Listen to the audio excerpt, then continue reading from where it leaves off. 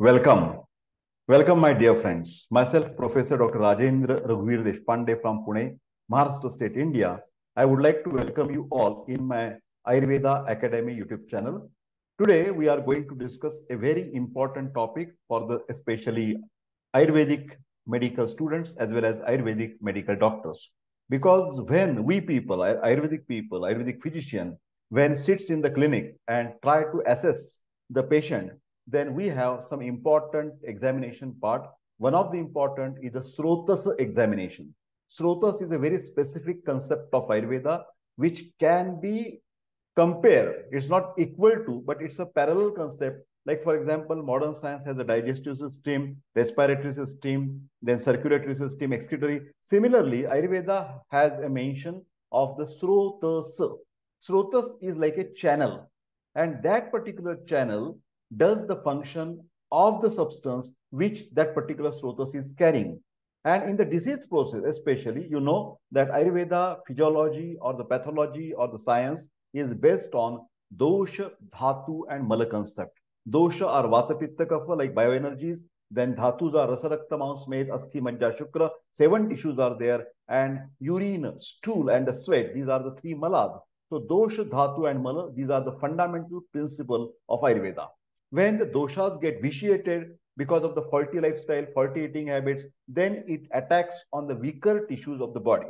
And then particular disease manifestation takes place, which is called as a dosha, dusha, samurchana, janito vyadhi. But that particular vyadhi is affecting also particular srotas. Ayurveda says sroto rodh, that is obstruction, is a very important phenomena in the disease process. Srotorodha, channel obstruction, is the hallmark of the pathology. And also, you can understand that there is a Sroto Vaigunya. Sroto Vaigunya can be genetic, hereditary, or it can be affected because of the previous illnesses, structural deformities, accidents, inside or outside causes. Okay, so Sroto Vaigunya and Sroto Dushti, these are the terminologies of Ayurveda. Ayurveda says we have the innumerable channels in our body. So aparisankheya, which cannot be counted, this type of the srotasas are existing in the human body.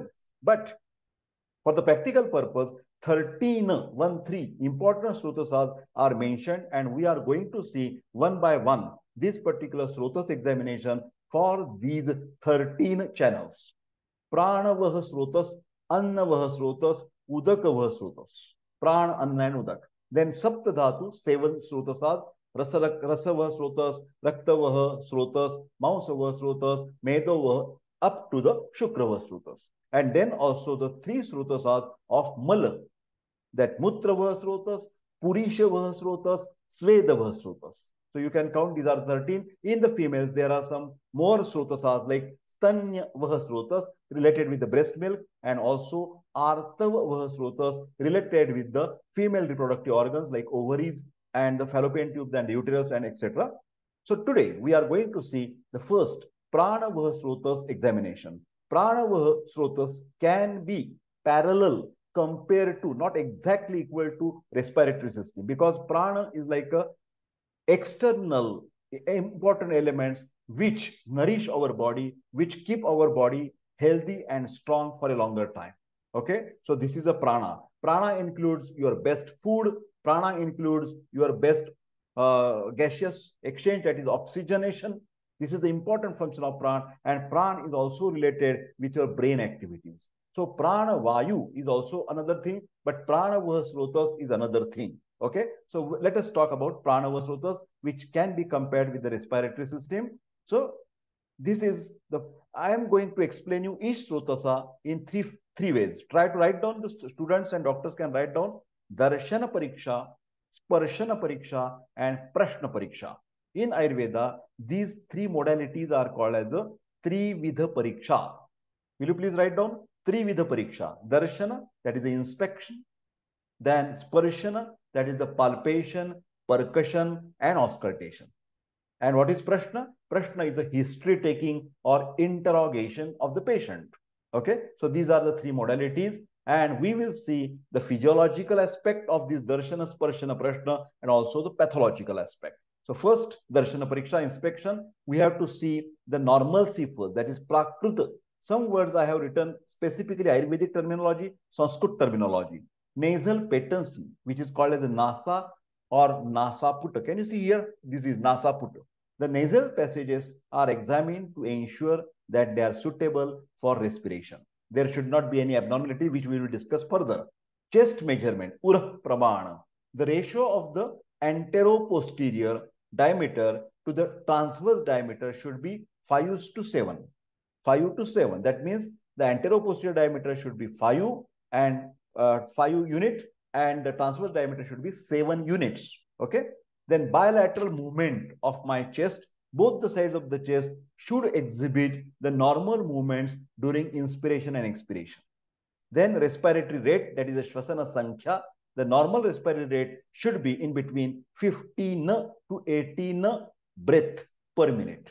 Then we will go for abnormalities, darshana pariksha, inspection, nasal obstruction. You can see by the nasal speculum, by the torch, nasal polyps, nasal, here you can see the sinusitis problem. These are conditions which can cause obstruction or inflammation of the nasal passage, by which we get the rhinitis type of problem Pratishyaya, Ayurvedic terminology, cold, Peenas, that is sinusitis. These all indicate there is a srotorodh if there is any. Sinusitis, there is definitely kapha uh, uh, molecules are gathering over there, kapha is more there, secretions are more there, and they are obstructing your respiratory system. Then there is abnormality with the structure that is deviated nasal septum, which is called as a DNS. Then you have to see the nasal ulcers, nasal tumors. These are structural or anatomical abnormalities. There may be growth inside the nose. These all things carry the srotorodh or srotovaigunya. Okay. Then pharyngeal abnormalities. This include conditions like inflammation. In Ayurveda, it is called as a rag or pak. Especially pak word is for inflammation whether it is a pharyngitis, tonsillitis, uveitis, you will have to check. Then examination regarding the voice. Because in pranava srotas, basically two types of the vata doshas are acting. One is a pranavayu and second is a udana vayu. But here when I am saying pranavayu is a type of પાંચ five types of the vata dosha. Pran, udan, vyang, saman, apan. So this pranavayu is not only oxygen. Rather, these pranavayu is nervous control, brain control on the respiratory system or brain respiratory center in the brain. So all this causes the pranavayu activity in the head and in the chest region. And this pranavayu activity is for the inspiration, taking the uh, uh, breath inside. And Udanavayu is antagonistic in uh, direction, opposite direction. Pranavayu from outside to inside and Udana Vayu from inside to outside. What are the functions of Udana Vayu? Vak, Pravrutti, Prayatna, Urja, Bala, Varna, Smruti Kriya. Mainly speech. So speech, you have to check the Pranavayu activities, Udanavayu activities, and the different dhatus in Pranavasrotas. You have to check voice abnormalities. This can be characterized by the change in the pitch of the voice, sound, quality of the sound, strength of the voice. These are all related with Udan Vayu function. Okay. Then vocal cord disorders, such as there may be some nodules, there may be polyp, there may be simple laryngitis. These are the specific issues affecting the vocal cords. Sound abnormalities are mentioned in Ayurveda. These include the variations in the pitch, tone, strength, or the clarity of sound produced during speech. The different swara abnormalities are mentioned with the Sanskrit words Shama swara, Bhinna, Sakta, Jarjara. These are the different uh, adjectives for the abnormal uh, your sounds, not the respiratory sounds, your voice. Okay. For that matter, the laryngoscopy, as and when required, the doctor must suggest go to the ENT specialist and do the laryngoscopy, especially to rule out. RO means to rule out laryngeal cancer, especially if the patient is 50 years old or the more than 50 years, then if the patient is complaining of hoarseness of voice more than three weeks, he has been treated with allopathic, Ayurveda and all medicines, but no relief. Hoarseness is persistent. then you must advise the laryngoscopy to rule out the cancer. Next, you have to see any involvement of trachea, the central windpipe, the main respiratory tract where we are breathing in. Evaluation of whether the trachea is centrally placed or deviated here and here.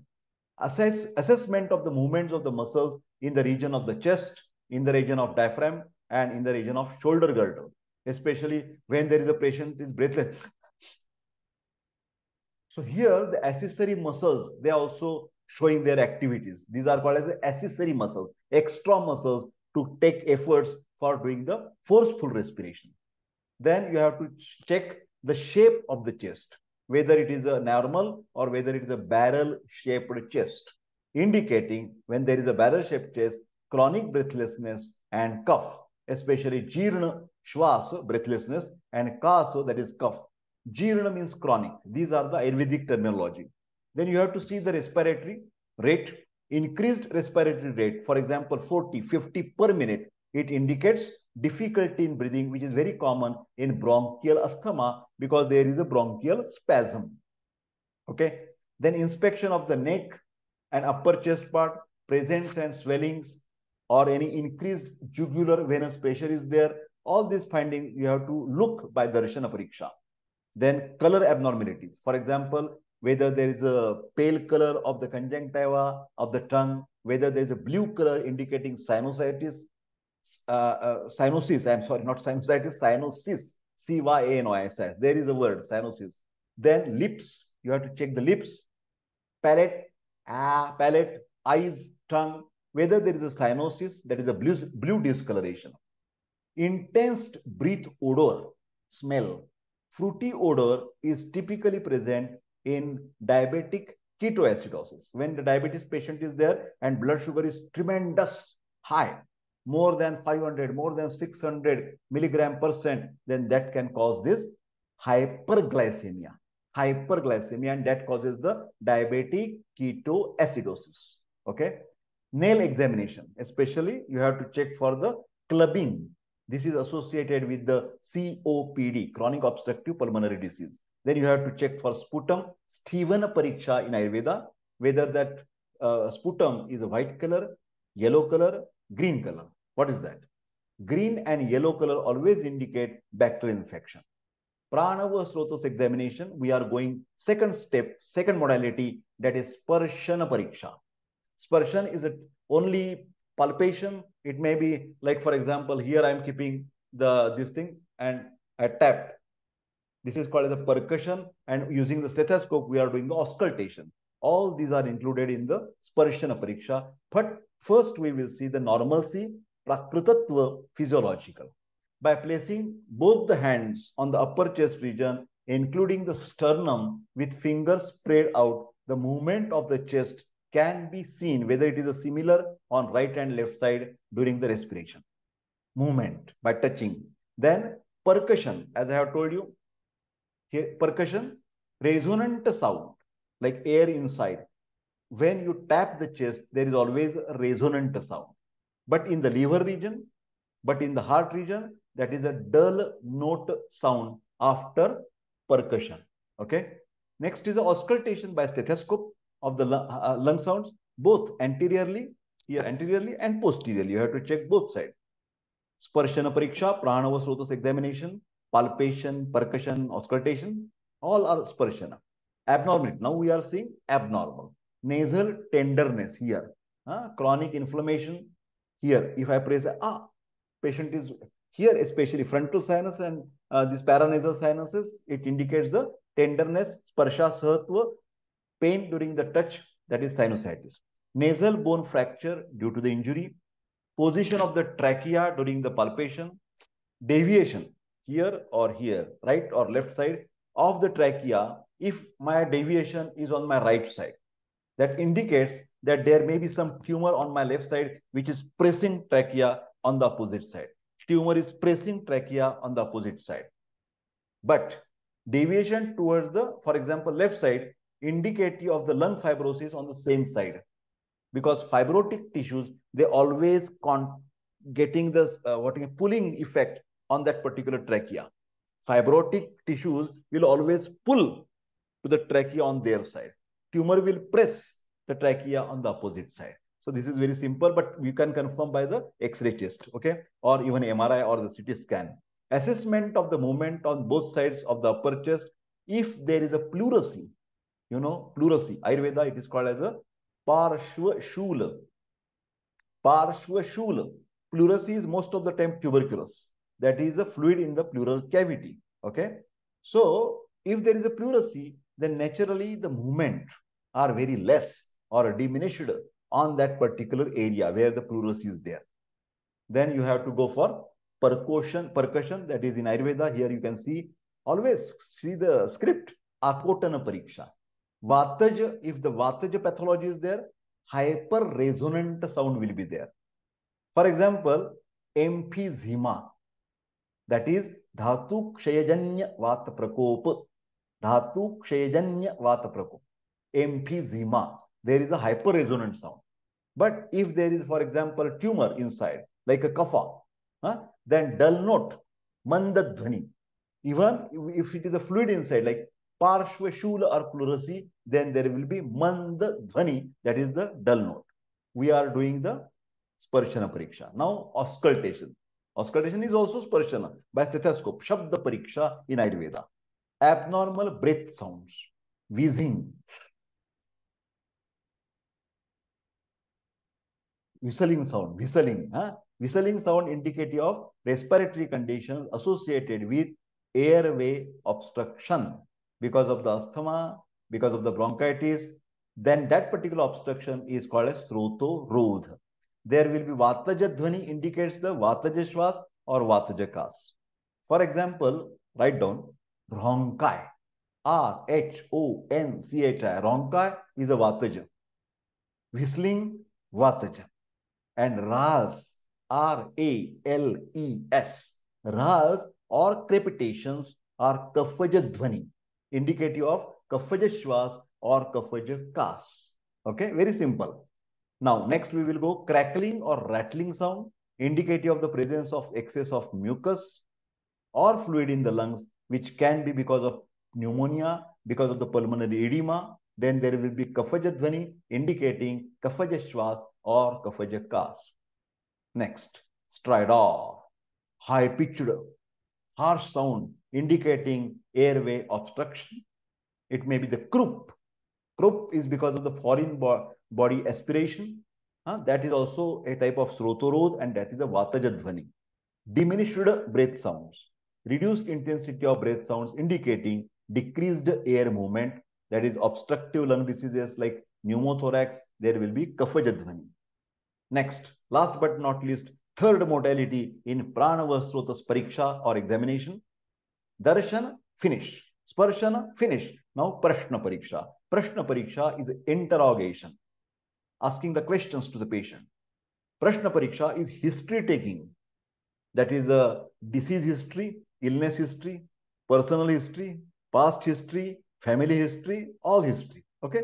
Normal. First, we will talk about normalcy. The person's place of residence and occupation. where Where is living? where Where is working?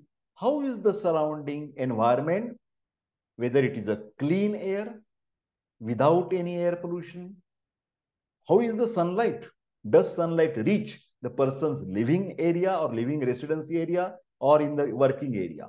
Next, about ventilation, Prashna Pariksha in the environmental well, whether it is ventilated or stuffy. Indoor environment inside, in my room, is the person exposed to the household or dust-related pollutants? Whether there is a problem of allergy, dust, more dust, climate, is the environment influenced by the extreme weather conditions? Like for the person does not experience any difficulties while breathing, is it right? Is it okay? So you have to ask all these questions. Now, next about abnormalities.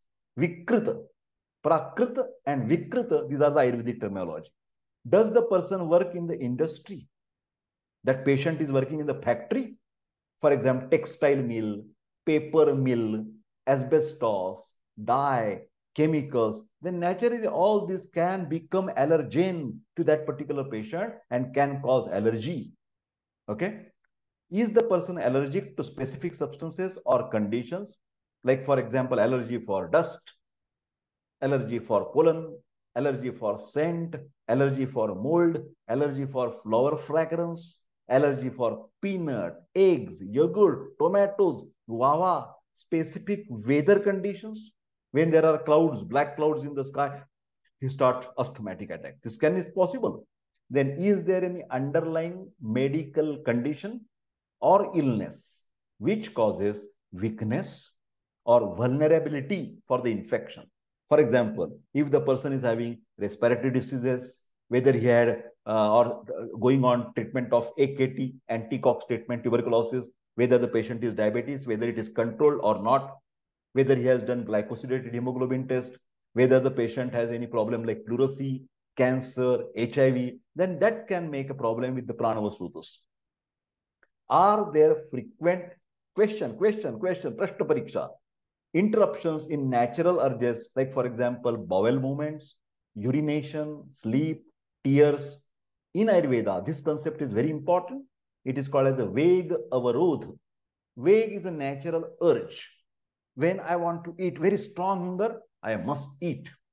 When I want to go urine, I must go for the urination. When I have the uh, spasm for the going to the stools, I must go for the toilet.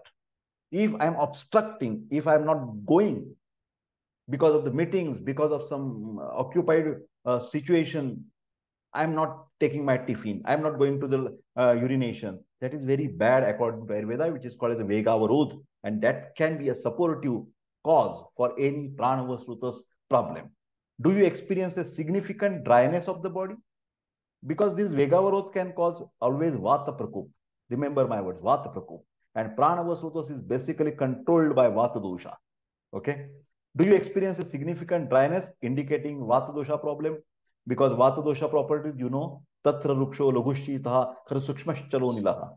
Whether any symptoms indicating dryness, like constipation is there, dryness, hoarseness of voice, lusterless eyes, dry skin, loss of elasticity, fissure on the palms and sole, does the excessive physical exertion his patient is doing and he is not taking a proper balanced nutritious diet, then that can cause vata prakop. Dhatu kshayajanya vata prakop. Okay. Then pranavasrotas examination, family history. Mother, father, grandfather, uncle, aunt. Do any of these people suffer from the asthma, allergies, skin disorders?